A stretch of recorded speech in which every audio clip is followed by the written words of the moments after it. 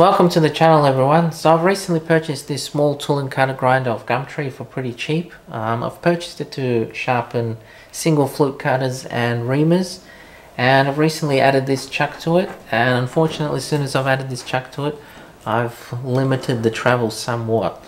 So in this video I'm planning to make a shaft extension for it out of this chunk of steel.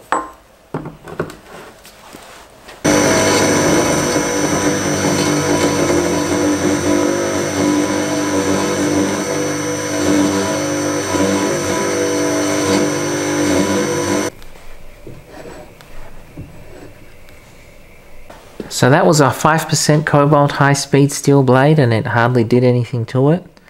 So it goes back in the scrap pile and probably never to be used again. So this is what I'm planning to make it out of now. Before I was going to make it all as a single piece. Um, now I'll be making it out of two separate pieces.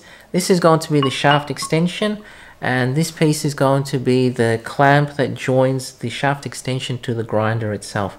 Now this piece isn't quite big enough in diameter to what I really need so what I'm planning to do is bore it off center to give me more metal on one side than the other and it should just give me enough metal to be able to um, drill and tap to put bolts to turn it into a clamp.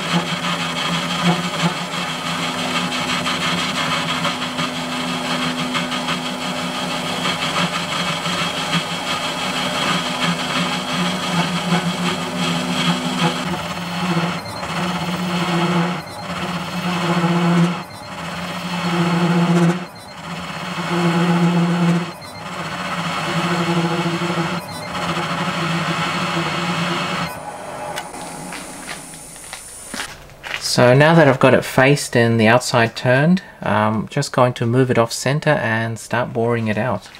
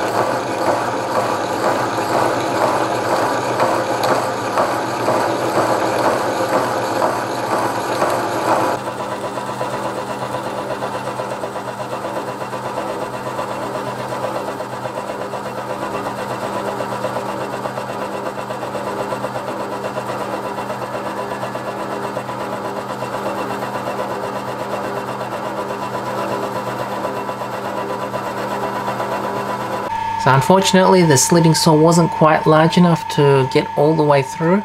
So I'm just going to take the end mill and thin out that wall so that I can finish splitting it with the slitting saw.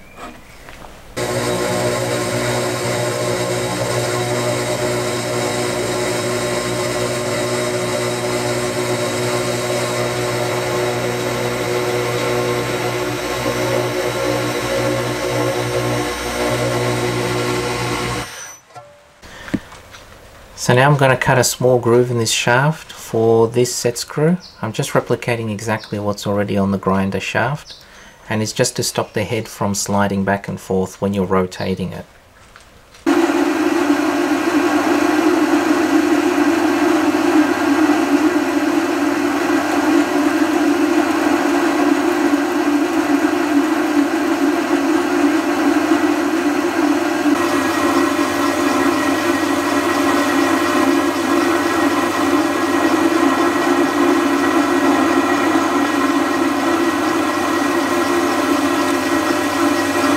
So it's all finished and it's time to put it together. Unfortunately, once I slid it, it's really pulled together quite a bit and it no longer fits the shaft. So I've just put some set screws in here and I'm going to use this piece of metal to push these set screws in and hopefully it'll spread it apart enough for me to put it on the shaft.